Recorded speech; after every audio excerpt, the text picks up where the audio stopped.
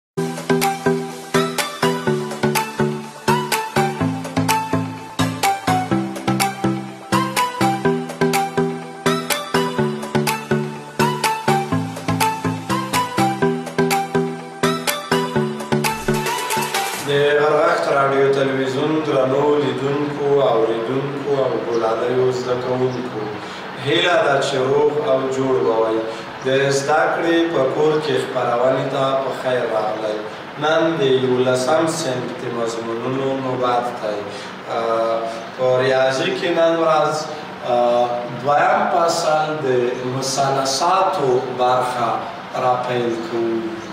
د یولسم صنف په ریاضي کې نن د مثلثاتو تر فصل پورې رسېږو. مثلثات خو تاسو په لسم ټولګي کې تعریف کړي دي چې مثلثات د ریاضیاتو هغې څانګې ته وایي چې د مثلث د ضلعو او زاویو ترمنځ له اړیکو یا رابطو څخه بحث کوي یا د مثلث د ضلعو او زاویو ترمنځ له اړیکو سره سروکار لري. کې اوله کې د ساین قانون دی.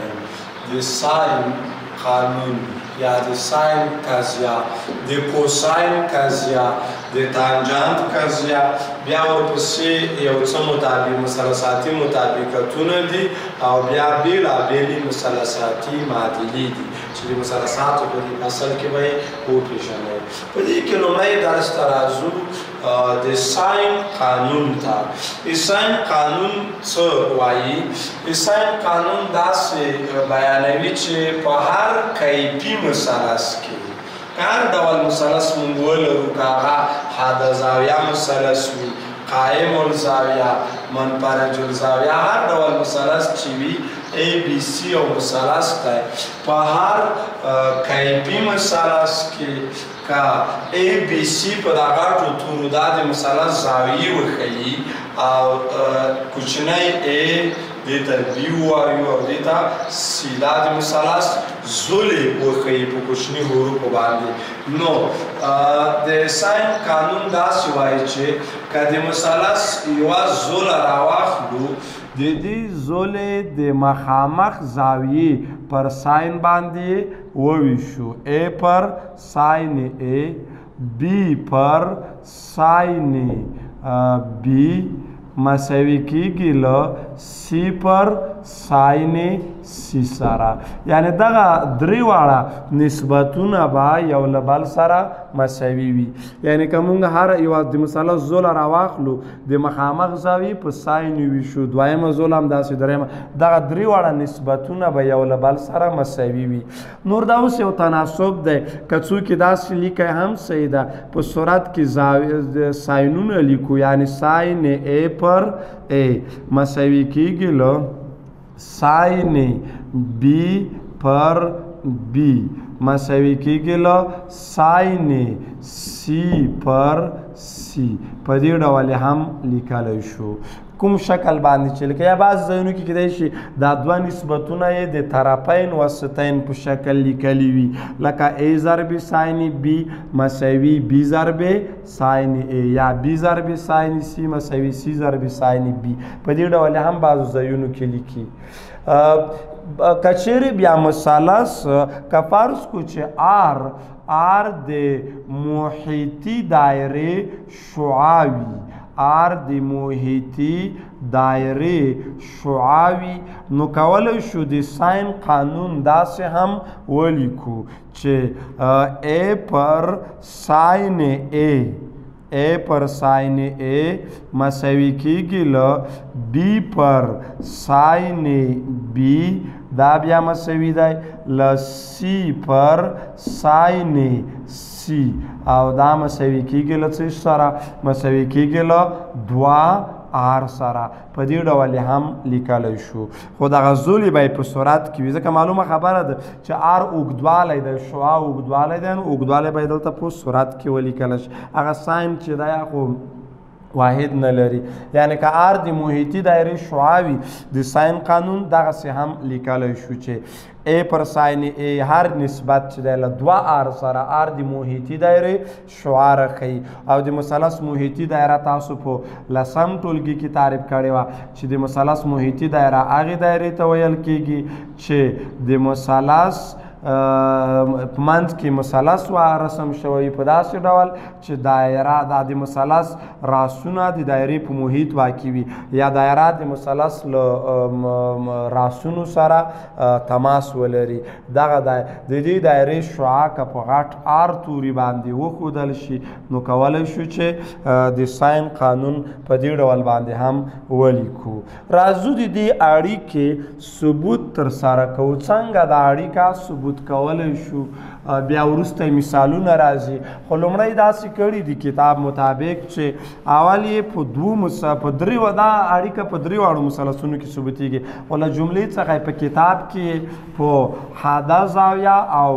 منفرج الزاویه مثلث کې ثبوت کړي خو په یو فعالیت کې پوښتنه لیکلې ده چې په قائم الزاویه مثلث کې دې زده کوونکي ثبوت کړي ا ثبوت به هم دلته وکړو فرض کړئ ا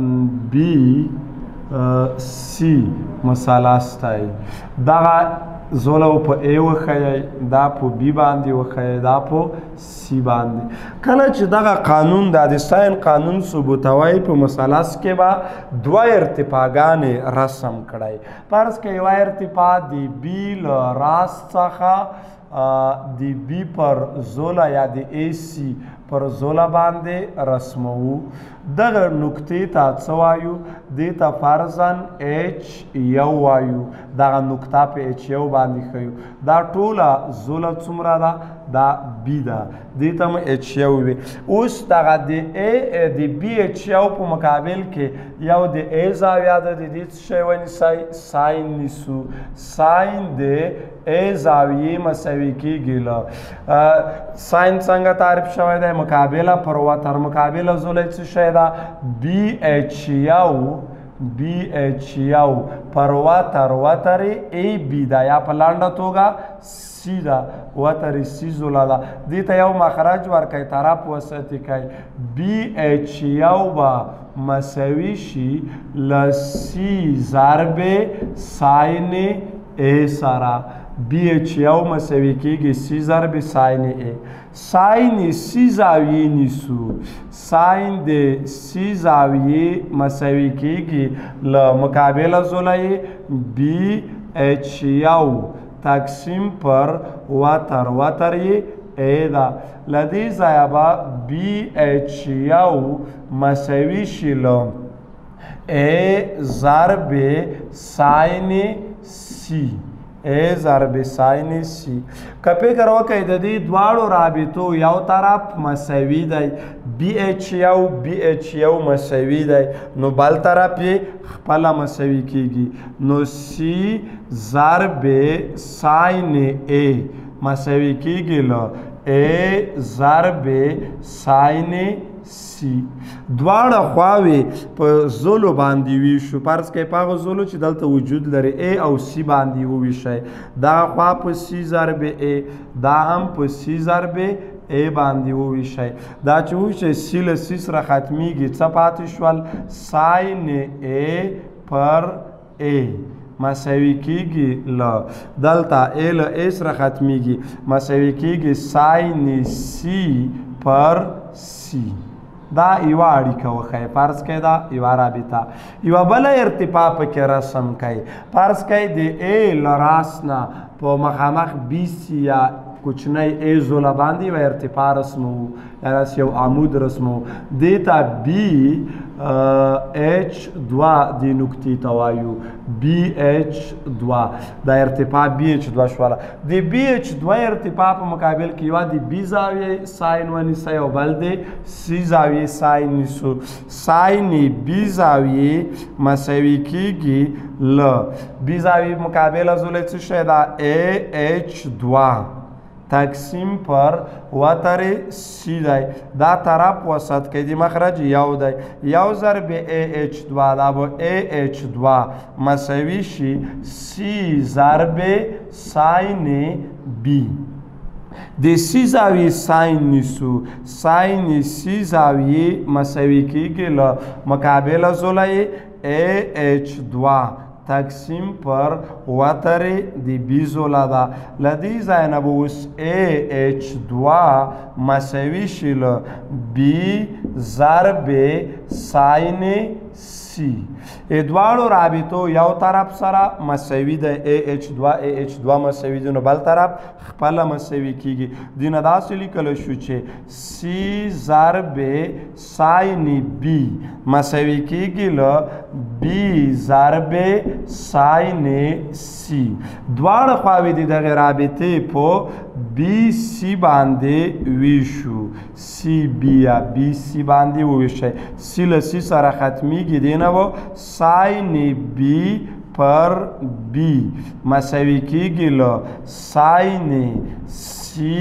پر سي باندې دا دویمه رابطه شوله اوس اوله او دویمه رابطه وګورئ اوله او دویمه رابطه کې وینئ ساین ا پر ال ساین سی پر سی سره مساوي ده ساین بی هم هغې سره مساوي ده لنډه دا چې ساین ا پر ال ساین بی پر بی سره او په مجموع کې دوی دواړه له ساین سی پر سی سره مساوي دي یعنی د دې اوله او دویمه رابطه یو خوا مساوي ده نو دا دا معنی چې درې واړه مساوي دي نو دینه داسې نتیجه لیکل شو چې ساين A پر A مساوي کېږي له ساين B پر B مساوي کېږي له ساين C پر C سره دا د ساين قانون ثبوت په فرض کې دا یو حاده زاویه مثلث قبول کړئ په حاده زاویه مثلث کې مو دا اړیکه ثبوت کړله په یو قائم الزاویه مثلث کې دا پښتنه کتاب په فعالیت کې کړی دا دې ته لک پام وکړي ځکه دا کتاب کې نه راخستې ډیر وخت خلک پښتنه کوي چې د ساين قانون په قائم الزاویه مثلث کې څړول ثبوت کول شو لاندې ثبوت کوم چې تاسو ور باندې په اسانۍ سره پوه شئ فرض که دا یو قائم الزاویه مثلث دی قائم الزاویه مثلث هغه مثلث ته وایي چې یوه زاویه یې نوي درجې وي نورې دوه زاویې حابه وي فرض که دا ای بي سی دا یو قائم الزاویه مثلث دی دا زوله بي شوله دا به سی شي او دا یې ای زوله شوله ارتفاع خو همدا دوه ارتفاعي تیارې په کې رسم دي په دې مثلث کې یو د ایزولا یا بی سی او بل د غدی بی ایزولا یا د کوچنۍ سی زولا د خپل ارتفاعګانې هم دي نو بل ارتفاع ته اړتیا هم نشته ده د درې واړو زاویې فرض کړئ ساین ای زاویې پیدا کوو ساین ای زاویې مساوي کیږي له مقابله زولای څه شی دا ای دا واتر څه شی دا بی دا ای پر بی دی زنه که بی پیدا کو دی بی زولا بی او ساین ای سره بدل کړي دا داسې لیکل شو چې بی مساوي کېږي تناسب دی طرفین پکې بدل کړي بی لس بی دی ساین ای ځای ته سه بی زولا مساوي کېږي ل ای پر ساین ای سره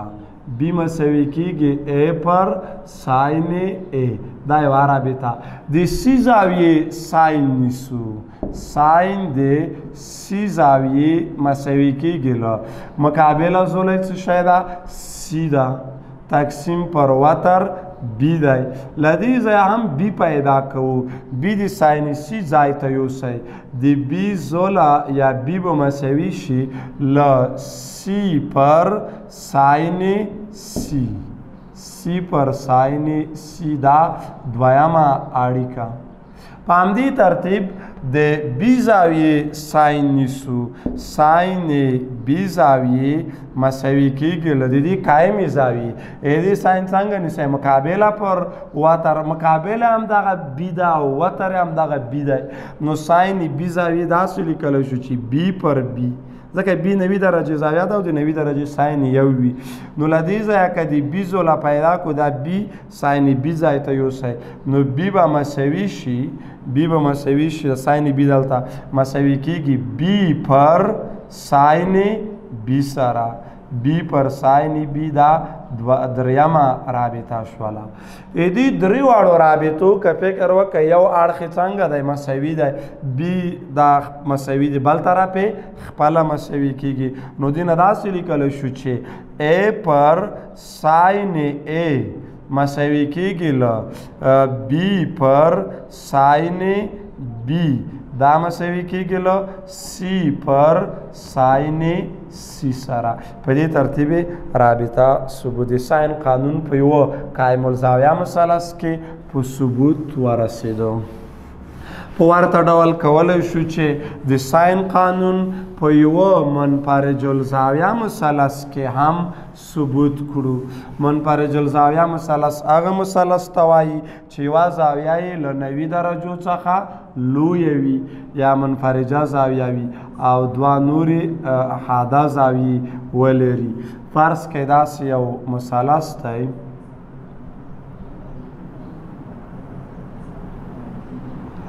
دا یو منفرج الزاویه مثلث قبول کړئ ا بی منفرجه زاویه سی دا زلو په بی باندې وخیدي ته سی ویلو شو دیتا ای ویلی شو په دې مثلث کې هم دوه ارتفاعګان رسمو یو ارتفاع داسې رسمو که دغه د ای بي زولې ته امتداد ورکړل شي او د سیل راس څخه د سیل راس څخه په دې ای بي زوله باندې یو عمود رسم شي دې ټکي ته فرضاً ایچ وایو دا نوي درجې زاویا شوالا اوس رازو په دې مثلث کې د ساين د نسبتونو پیدا کولو ته فرض کې یو دا زاویه خو بي شواله ده داخلي زاویه دا بي زاویه ده نو د دې خواته زاویه به څومره شي دا به یو سلو اتیا درجه منفي بي زاویه شي ځکه مستقیمې کرښې وي خواته یو سلو اتیا درجه وجود لري اوس رازو د ACH مثلث که په نظر کې ونیسه یا ساین A زاویه پیدا کوو ساین A زاویه مساوي کیږي د دې A زاویه ساین مساوي کیږي مقابل ازوله څه شی ده CH ته CH تقسیم پر وتر وتر AC یا دی بی زولا دا له دې ځایه به سی ایچ مساوي شي له بي ضرب ساین ای سره دا اوله رابطه اوس ساین دی ساین یو سلو اتیا منفي بي زاویه د دې زاویې ساین پیدا کوو ساین سلو اتیا د دې زاویې د ساین مساوي کېږي مقابله زوله مقابله زوله څه شی ده سی ایچ ته پر وتر وتر ای دی له دې ځایه به سی ایچ مساوي شي له ای ضرب ساین یو سل اتیا منفي بي ساین یو سل اتیا منفي بي چې شی کېږي دا بېرته ساین بي زاویه کېږي ساین بي ساين که تاسو په لسم سن کې یو اړیکه یا لیوا چې ساين یو سلاتیا درجه منفي تیتا مساوي کېږي له ساين تیتا سره دې ته دویمه رابطه وایو د اولی او دویمې رابطې یو طرف مساوي دی سی ایچ سی ایچ نو بی ضرب ساين ای مساوي کېږي له ای ضرب ساين بي دواړه خواوې دي دغه رابطې په ای ضرب بی باندې وویشئ دا چې وویشئ بی دلته له بی سره ختمیږي څه شی پاتې شول ساین ای پر ای ساین ای پر ای مساوي کیږي له دلته و ای له ای سره ختم شي مساوي کیږي ساین بی پر بی سره دا یو اړیکه دی ځای کې حاصله شوله اوس راځو په یو بل ارتفاع پرس کې دی بل راس څخه یو ارتفاع دی بی په زول یا ای سی زول باندې رسمو دی ته فرضاً اچ یو وایو دی نقطې ته د ای زاویه ساين په دې کوچنی مثلث کې ونیسای ساين ای مساوي کیږي ل مقابله زولای بی اچ یو بی ایچ یاو تقسیم پر وتر وتر سی دا دا که طرف وسط شي نو بی ایچ یاو با مساوي شي له سی ضرب ساین ای سره بی ایچ یاو مساوي کیږي سی ضرب ساین ای په همدې ترتیب ساینې سی زاویې نیسو ساینې سی زاویې مساوي کېږي د دې زاویې ساین مساوي کېږي مقابله زولای بی ایچ یو ده بی ایچ یو تقسیم پر ای باندې لدی زیابو بی ایچ یو مساوي شي له ای ضرب ساین سی سره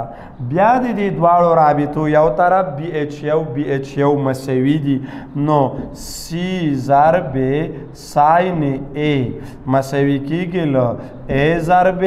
ساین سی دواړه خواوې په څه شي باندې ویشي په ای ضرب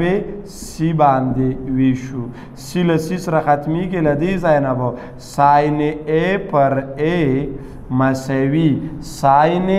سي پر سي حاصل شي دا اړیکه او دا دواړه اړیکې وسره مقایسه کوي د دواړو اړیکو کې ساين ا پر ا ساين ا پر ا شته ده نو دینه لیکل شو چې دا درې وړ نسبتونه خپل منځو کې سره مساوي دي په نتیجه کې لیکل شو چې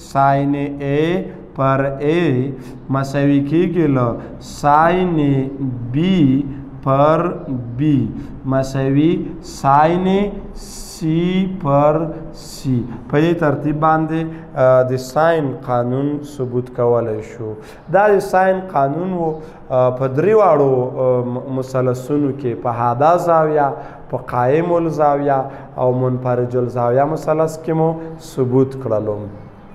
هغه دویم شکل چې له دوا آر سره مساوي کیږي د هغه ثبوت ډیره برخه تقریبا په تاسو کا په وګورای په لسم سند کې هم مثلثات کې هم هغه خبره یو ځای کې هغه د محیطي دایره عنوان کا وګورای په هغې کې شته دی د لږ وضاحت په خاطر باندې کولی شو چې په قائم زاویه مثلث کې لږ لاند وضاحت وکم فرض کې دا یو دایره شوله داسې قائم الزاویه مثلث قائم الزاویه مثلث چې په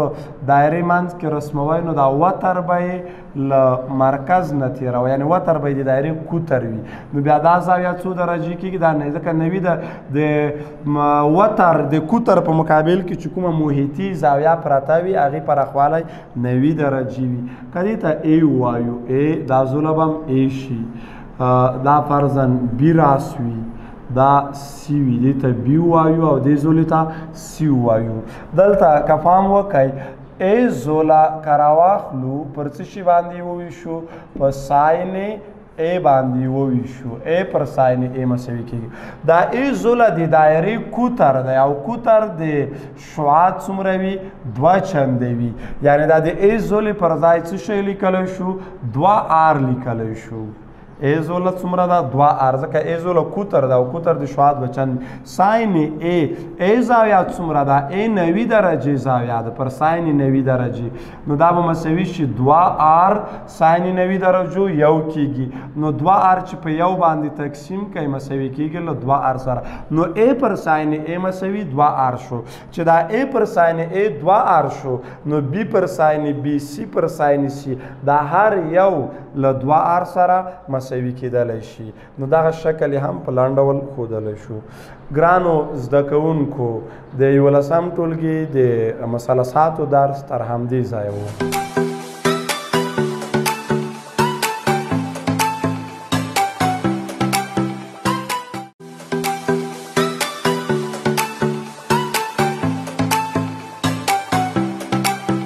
ګرانو زده کوونکو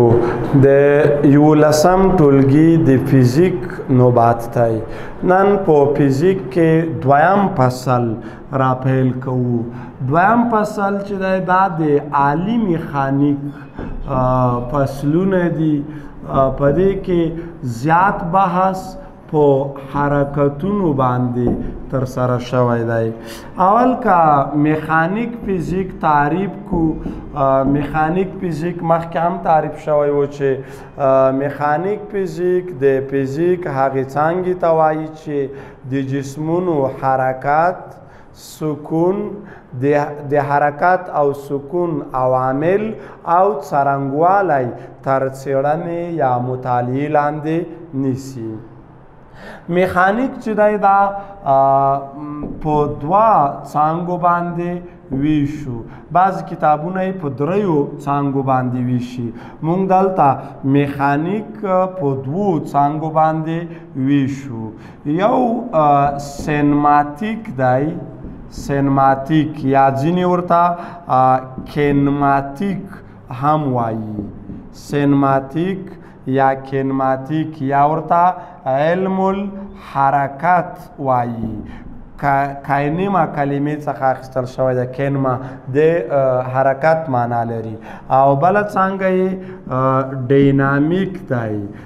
یا دې ته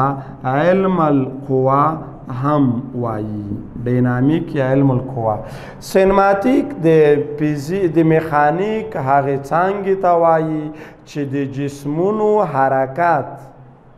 پرته د قوې څخه تر مطالعه لاندې نیسي یعنی دلته د اجسام او حرکت مطالعه کیږي خو قوا په نظر کې نه نیول کیږي هغه څانګه چې د جسمونو حرکات پرته له دې چې علت یعنې قوه یې په نظر کې ونیول شي تر مطالعې یا څېړنې لاندې نیسي دې ته سینماتیک ویل کېږي بل ډینامیک دی ډینامیک هغه څانګه ده چې د جسمونو حرکات د علت یعنې قوې په نظر کې نیولو سره تر څېړنې یا مطالعې لاندې نیسي یا هغه څانګه ده چې د جسمونو د حرکات قوې ترمنځ د اړیکو څخه بحث کوي ډینامیک هغه څنګه ته وایي چې د جسمونو حرکت او د حرکت اړیکې له قوې کتلې او نورو پارامترونو سره تر مطالعې یا څېړنې لاندې نیسي ډینامیک چې دی دا بیا په دوو څانګو باندې ویشلی کېږي یوه څانګه یې یو یې سینټیک دی سینټیک او بله څانګه یې ستاتیک دی سینټیک چې دی دا جسمونه د حرکت په حالت کې او د قوې اغیزې په حرکت باندې مطالعه کوي او ستاتیک چې دی دا جسمونه د سکون په حالت کې یا د قوو د تعادل څخه بحث کوي جسمونه د قوو تر تع... د قوې د تعادل په حالت کې تر مطالعه یا چړنې لاندې نیسی دا دوی څنګه باندې خو اکثره موږ د یو لسم سیم د فزیک مطابق یو سینماتیک څنګه دا بل ډینامیک ته دا دوی به تاسو یاد وي سینماتیک هغه څنګه ته ویل کیږي چې د جسمونو حرکت پرته د قوې په نظر کې نیولو سره تر څېړنې لاندې نه یعنې جسمونو حرکت مطالعه کوي خو ولې علت او قوه تر بحث لاندې نه نیسي او ډینامیک د جسمونو حرکت او د حرکت اړیکې له قوې سره تر مطالعې لاندې نیسي سینماتیک کلمه یا د کینما له کینما له کلمې څخه اخیستل شوې ده چې معنی څه شی ده حرکت ته او د ډینامیک کلمه د ډاینامیس له کلمې څخه اخیستل شوې ده چې د قوې اغیزه ښیي د قوې د اغیزې معنا ورکوي ډاینامیکس د قوې تاثیر یا اغیزې ته وایي یعنی دا د قوې څخه اولته قوه نه مطالعه کیږي مخکې له دې څخه چې د حرکت ډولونو ته لاړ شو لومړی باید ځینې اصطلاحات وپیژنو لکه حرکت څه شی دی حرکت څه ته وایي حرکت او سکون سکون که تعریف کو سکون کچیر یو جسم د وخت په تیریدلو سره نظر د شاوخوا موقعیت ته خپل موقعیت او ځای تغییر نه کړي نو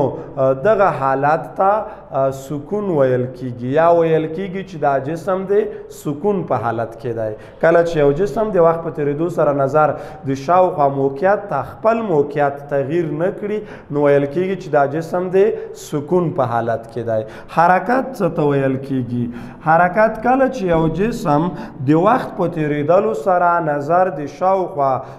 موقعیت ته خپل موقعیت تغییر کړي خپل موقعیت ته بدلون ورکړي نو ویل کیږي چې دا جسم د حرکت په حال کې دی حرکت بیا مختلف ډولونه لري پر د لیدلو پر اساس یو پسترګو لیدونکي حرکتونه د مثال یو موټر حرکت کوي تاسو پسترګو وینئ او پکا حرکت کوي ځینې حرکتونه بیا پسترګو نه لیدل کیږي لکه مثال په یو کوټه کې د غاز یا د هوا د ذراتو حرکت او داسې نور همدا ډول حرکتونه که چیرې د وضعیه کمیاتو په سیستم کې په نظر کې ونیول شي نو په دریو ډولونو باندې ویشو یو یو بعدي حرکتونه دي یو بعدي حرکتونه هغه حرکتونو ته ویل کیږي چې د دریو محورونو د ایکس وای زد د دریو محورونو له جملې څخه یوازې په یو محور باندې تر سره کیږي پر یو محور باندې چې کوم حرکت تر سره شي دغه یو بعدي حرکت بلل کیږي لکه د بیلګې په توګه د یو موټر حرکت په وسیده سړک باندې یا فرضاً د یو شخص حرکت په یو تنګ لار باندې یا مثال د په د دیو جسم د یو ارتفاع څخه دیو جسم را غورځیدل د ځمکې خواته دا یو بعدي حرکتونه دي په یو محور تر سره کیږي او دوه بعدي حرکتونه او حرکتونو ته ویل کیږي چې دغه دریو محورونو له جملې څخه د دوه محورونو پر امتداد باندې تر سره شي معادلې په دوه محورونو باندې راکړل شوی وي ایکس وای زد محورونو لجم په دوه محورونو باندې لکه دورانی حرکتونه شول پرتابی حرکتونه شول نور دی توار ته ډیر بیلګي او مثالونه لرو او بل درې بودی حرکتونه دي هغه حرکتونه دي چې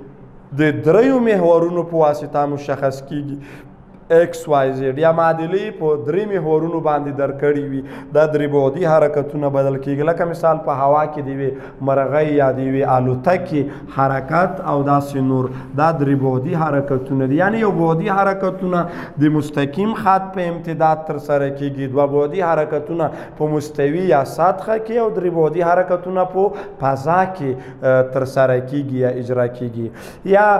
د مسیر لمخې حرکتونه که مسیر په نظر کې ونیول شي مسیر څه ته وایي مسیر د هغو نقطو هندسي محل ته وایي چې یو جسم یا یو متحرک جسم یې د حرکت په وخت کې طی کوي د یغو نقاطو هندسي محل چې متحرک جسم یې د حرکت په وخت کې طی کوي د حرکت مسیر ورته وایي د مسیر په نظر کې نیولو سره مونږ حرکتونه په دوه ډولونو باندې ویشو یوې مستقیم الخط حرکتونه دي هغه حرکتونه دي چې د یو مستقیم خط پر اوږدو تر سره کیږي او بلې منحنی الخط حرکتونه دي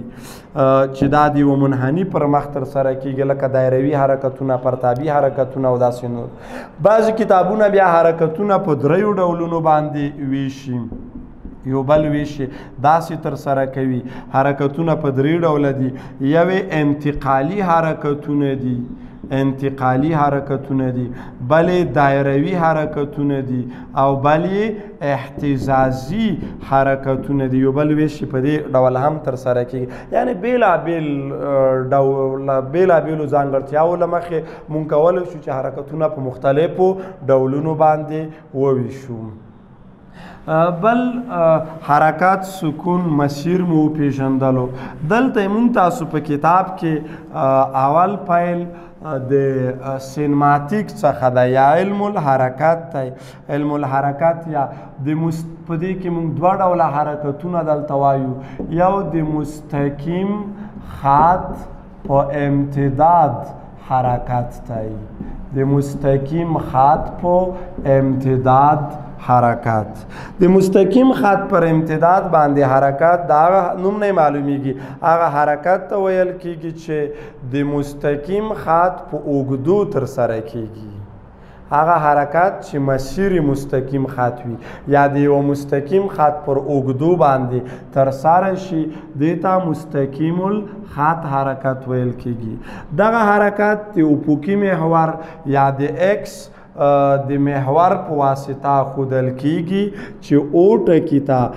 مبدا ویل کیږي جسم موقعیت خودل کیږي فرضاً جسم په دې ځای کې واقع دی یو موټر دی په مستقیم الخط ډول خپل حرکت کوي دغه ځای مثال لاس متره دی فرضاً دې ځای ته راورسېدلو موټر فرضاً دا موقعیت په ایکس دوه باندې ښیو دېرش متره د او د نقطې نه په همدې ترتیب باندې یعنې مستقیم الخط حرکت یا د مستقیم خط پر امتداد باندې چې کوم حرکت دی دا د ایکس پر محور یا کېدای شي د وای په محور بعضې وخت وښیو لکه آزاد سقوط مستقیم الخط حرکت کې بیلا بیل ډولونه راځي لکه په دې حرکت کې یو نواخت یا متشابه مستقیم الخط حرکت راځي چې په مودي حرکت کې تعجیل صفر وي او سرعت په کې څنګه وي ثابت وي تعجیل صفر او سرعت ثابت وي په دې کې ثابت تعجیل لرونکی مستقیم الخط حرکت راتللی شي ثابت تعجیل لرونکی مستقیم الخط حرکت همدا دوه ډولونه موږ په دې فصل کې وایو ثابت تعجیل لرونکی دا معنی چې تعجیل پکې ثابت ته تعجیل په ثابت ډول کمیږي او یا زیاتیږي خو سرعت پکې متغیر وي سرعت پکې ثابت نه وي تغییر کوي زیاتیږي کوي خدا د سرعت تغیرات په منظم ډول وي په ټاکلي وخت کې په منظم ډول سرعت کموالی او زیاتوالی کوي خو مخکې له دې څخه چې مونږ د مستقیم الخط حرکت پر ډولونو باندې وپوهیږو لومړی باید ځینې اصطلاحات ورته وپیژنو چې په هغې کې متوسط یا منځنی سرعت دی لحظوي سرعت دی متوسط یا منځنی تعجیل لحظوي تعجیل دی دا به لومړی پیژنو بیا به وروسته یو نواخت مستقیم الخط حرکات دی هغه ځانګړتیاوې او معادله به وایو بیا ثابت تعجیل لرونکی حرکات دی دی هغه بېلابېلې معادلې او فارمولونه چې ډېر مهم دی او په وروستیو کې به آزاد سقوطي حرکات هم په همدې فصل کې وپېژندل شي. ګرانو زده کوونکو د نن ورځې د فزیک درس تر همدې ځایه